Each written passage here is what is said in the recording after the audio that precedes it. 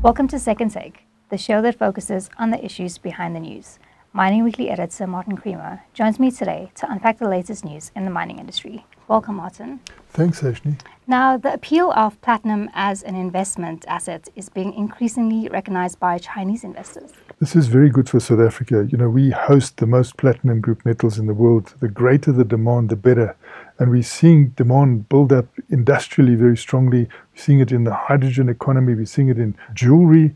And the Chinese are realizing that it crosses so many paths that it's good to get in on the investment side. So, investment platinum, getting access to the physical platinum is very, very important. And you, you see this new platinum bar that's been launched in China has uh, had a very good reception, and it comes against the background of a lot of work by World Platinum Investment Council, but also, you know, the Gold Coin organization in China can also see the big gap between the platinum price and the, the gold price, and uh, they have been responsible actually for launching this one kilogram bar. Now, DRDGOLD's Ergo solar plant has received an Eskom grid connection certificate. Yeah, now that is this is important as well. You know, this particular plant out at Ergo was established, I think, in the late 80s by Anglo American at a time when there was no urban development there.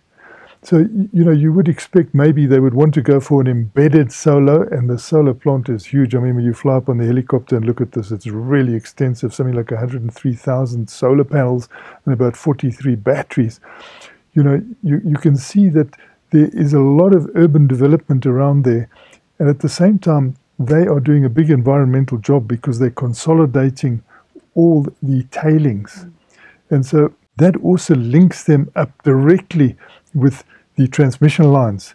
And it's important that they've now cleared up everything, that they're not just an embedded producer of, of this power, which is so important for the Ergo plant, but that they also link up officially to the transmission lines. And it's not so much to supply third parties, it's to keep it within the group because they've got so many different Eskom accounts and municipal accounts that this just sorts out the issue of the certification that they are part of a transmission situation as well and that they can actually wheel officially. And lastly, uh, the former Sasol and Royal Bafokeng Platinum CFO is now leading a Madagascar graphite advance.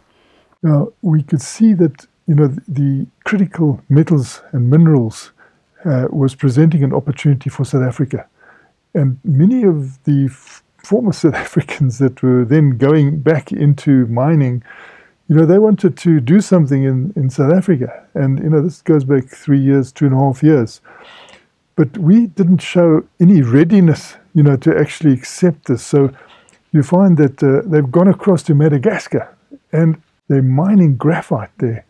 They shipped out their first graphite. And so it's the Molo mine, and it's part of your NextSource listed on the Toronto Stock Exchange. But you get people like Mick Davis, who are very well known here, and uh, Hanré Rossouw, very well known here. They are now deeply involved in this, and you can see that coming out of this new critical minerals mining side is also greater involvement you know, in the supply chain, greater talk of beneficiation, where you never used to hear that before. You're now hearing it. So it is a big opportunity for South Africa, you know, that we should get involved with.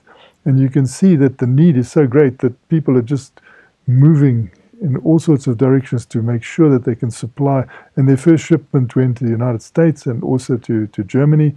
But um, there's a lot more coming out of this particular operation in Madagascar uh, to supply the anode needs, you know, of the batteries that are going into electrical vehicles.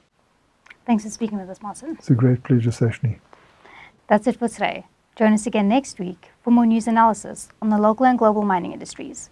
To subscribe to Creamer Media's Engineering News and Mining Weekly, please email subscriptions at creamermedia.co.za.